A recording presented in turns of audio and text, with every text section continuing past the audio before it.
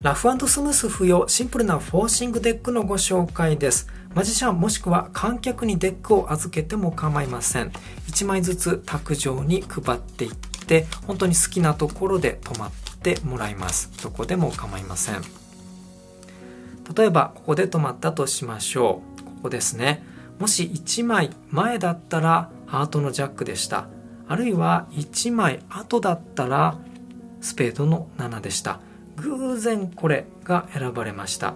選ばれたカードはスペードのクイーン。さあ予言を見てみましょう。一致していますというふうに100%的中します。必ずこのカードが選ばれるようになっています。繰り返しますがラフスムース不要でマジシャンが掴んでも観客が掴んでもあるいは卓上に置いたまま横に配っても構いません。是非ご利用ください。